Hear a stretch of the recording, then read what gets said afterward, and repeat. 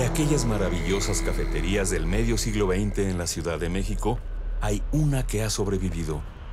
Una a la cual el tiempo solo le ha dado mayor esplendor.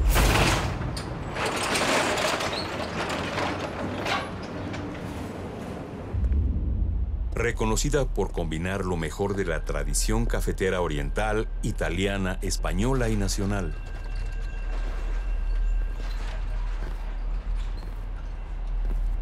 Una cafetería muy especial, por haber sido durante décadas el lugar de reunión de la comunidad gitana andaluza en la Ciudad de México, por lo que se le llamaba el Café de los Gitanos.